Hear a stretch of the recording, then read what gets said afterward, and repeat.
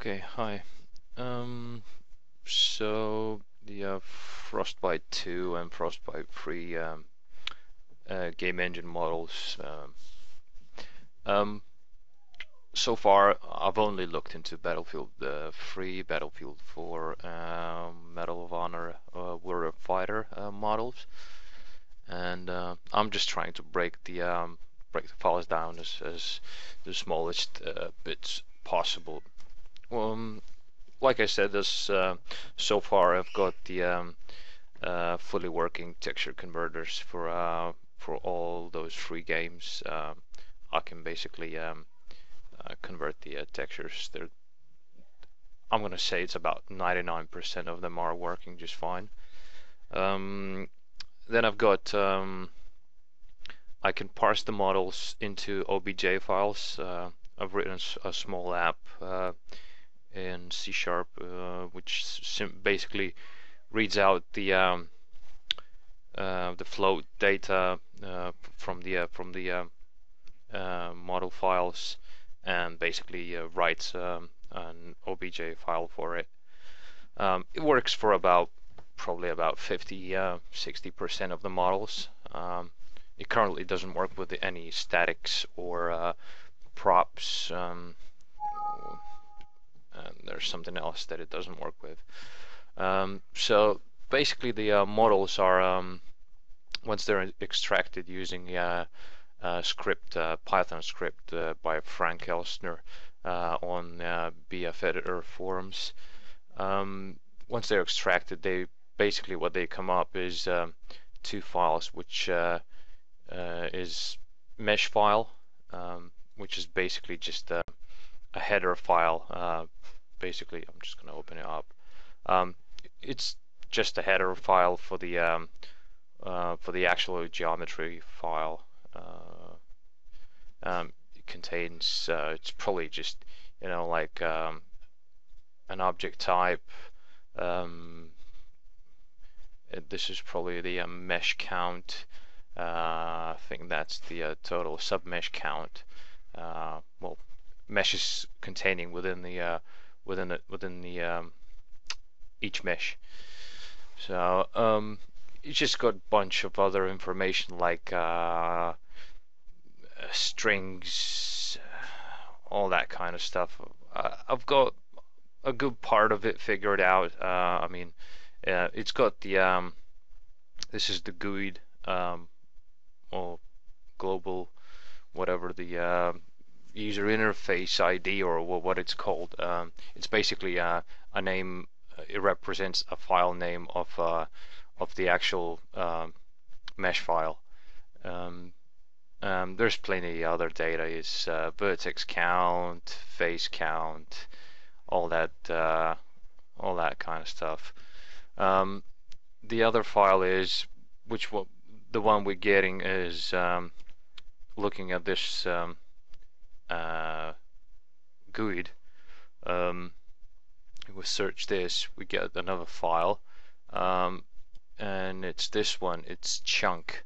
Uh, this is basically where all the uh, vertex inform information is. Uh, um, vertex properties and uh, face indices and all that all that kind of stuff. Let's just open it up. Okay, so or I probably already had it open. Uh, so I know that this file is, um, well, basically the layout of the uh, vertex information is blocked, uh, and it's uh, 48 bytes in size. So I dragged it out to well 24. So basically, uh, a single vertex information is displayed in the um, in two lines. Um, thing is, um, okay, so I'm uh, using my float reader uh, app. I'm reading out the uh, first uh, six, I think. Hold on, one, two, three, four, five, six. Yeah, first three six bytes, which basically is the uh, half float information um, representing the uh, vertex position in the 3D space. So I'm reading out the first uh, six bytes here. Um, what else am I reading out from the uh, from the block? Is the um, uh, I think it's yeah it's uh, 32 I'm reading out the um, UV's information which is uh, right here. Uh, it, it, changes it varies from model to model. Uh, as the size of the vertex block as well but for this particular one it's at I think it's at 32 so I'm reading out those two um, half floats for the uh, vertex uh, for the UV information. Okay uh, so um, I'm left with uh, some of the data that I, I simply don't understand at the moment. So uh, I'm just trying to, to figure it out. Um, okay so the the data in question is it's these four bytes here. Um, um, I've read up, you know, uh, quite a bit of information, but I still I still can't figure out. I think these, um, well, let's see. Um, so let's say the first six bytes is the uh, vertex position data. Um, that is the U, UV uh, position data. Um, this looks like another six bytes of uh, probably UV floats uh, not UV floats, uh, sorry, uh, half floats. Um, my guess would be uh, that these are um, normals um, uh, information. Um, so what I'm left with is this portion right here. Uh, it kind of seems like, you know, it's it looks like bone indices to me.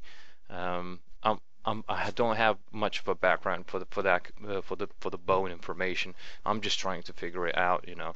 So if if anyone can help me with this, so it basically looks like you know it, it's got like an index of zero, uh, so it's bone zero, bone three, bone one, bone two, um, and then we've got those two uh, uh, well three four zeros. Um, four zeros actually, yeah. Um, so, and it's got um, some float information following it, um, half float information, sorry. So it's each two bytes each. Um, it kind of looks like it is the bone information. Um, I'm just, you know, I'm just wondering whether anyone has got any experience in whether this is how the, uh, uh, this is where the, um, the weight, uh, related to the bones uh, indices is stored, you know, within the uh, vertex uh, attribute block or set, whatever you call this. Um, this is actually um, for a model of a rat. Um, so it is rigged. I'm, I'm, I'm pretty sure it is rigged. It's got its own little skeleton um, and everything. That uh, I can read the skeleton uh, structure out. It's um, it's uh, conveniently converted into a text file. Um, Let's see if I can find it. Rat skeleton. Okay. Yep. So yeah, um, like I said, um, there's an array of bones in here. Rat skeleton, AI trajectory, hip, shoulder, yada yada yada, all that kind of stuff. It's got, I think it's got about, uh, see, it's got 19 bones there. Um, yeah, it's got 19 bones. So I think that this is where the um, this is where the uh, bone magic is, is is happening, but I'm not too sure. So that's why I'm asking this uh, of you guys. No, sorry, this one. Um, if you could help me with this uh, uh to figure out the, uh, the last bit um, of the uh, payload file, that would be great. Thanks a lot. Cheers.